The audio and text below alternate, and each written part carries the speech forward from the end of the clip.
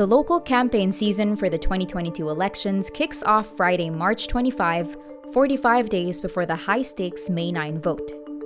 A total of 18,023 seats across the country are up for grabs, but 845 unopposed candidates are virtually assured of an election victory.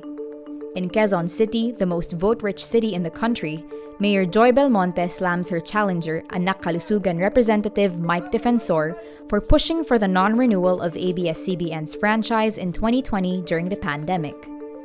ABS-CBN is located in Quezon City where many of its employees who lost their jobs reside. In Manila, six candidates are running for mayor, which include Honey Lacuna, Amado Bagatsing, Alex Lopez, Christy Lim, Onofre Abad, and Elmer Jamias. It's Team Marcos versus Team Fariñas for governor in Ilocos Norte. Imee Marcos's son, Matthew Manotoc, is running for re-election for governor against former Governor Rudy Fariñas. In Cavite, re-electionist Governor Jonvic Remulla and running mate Tagaytay City Councilor Athena Tolentino kick off their campaign. In Cebu, the most vote-rich province, incumbent Governor Gwendolyn Garcia will face former Tourism Secretary Ace Durano in the gubernatorial race. In Mindanao, Davao City Vice Mayor Baste Duterte, the youngest son of the president, seeks to take over his sister Sara Duterte's post as mayor. Senator Panfilo Lacson says the reason why he was dropped by Partido Reforma is due to campaign funding, not just his survey numbers. He clarifies this in a message to reporters on Friday, March 25. It was actually more about the issue of campaign expenses for their local candidates. His chief of staff was asking for 8 million pesos in additional funding, which I honestly told him I cannot produce. Alvarez dropped Lacson for Vice President Leni Robredo after supposedly seeing Lacson's poor performance in the surveys. Meanwhile, Robredo's ratings are rising and she has been able to muster huge numbers in rallies in all provinces she's visited. Alvarez confirms asking Lacson for a budget but clarifies it would be used for poll watchers. Alvarez adds Robredo is not a member of Reforma, so she has no obligation to the party. Need more context, clarity, and perspective? Get the full picture with Rappler Plus. With exclusive content and events, you'll get an opportunity to discuss issues with reporters, experts, and featured guests while helping Rappler continue its fearless journalism. Join now.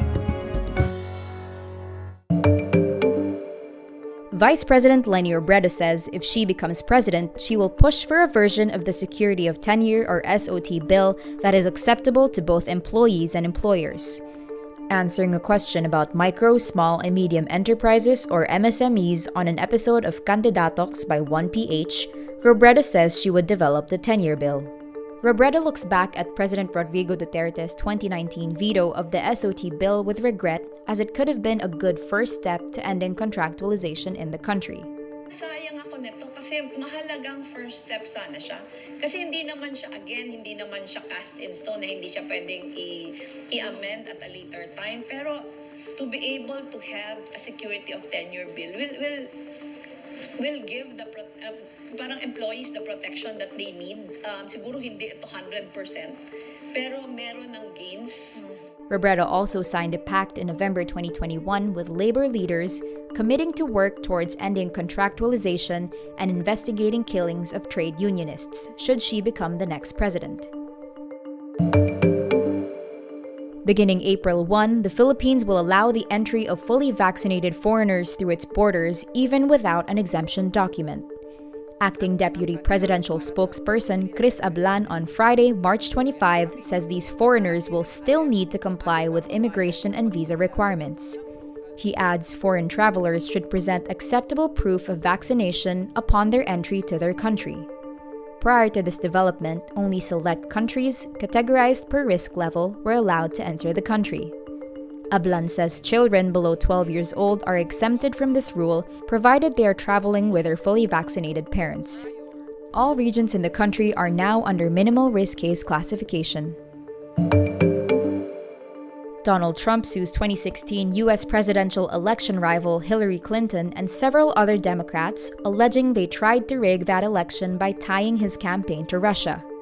The lawsuit covers a long list of grievances the Republican former president repeatedly aired during his four years in the White House, and comes as he continues to falsely claim his 2020 election defeat by Democratic President Joe Biden was the result of widespread fraud.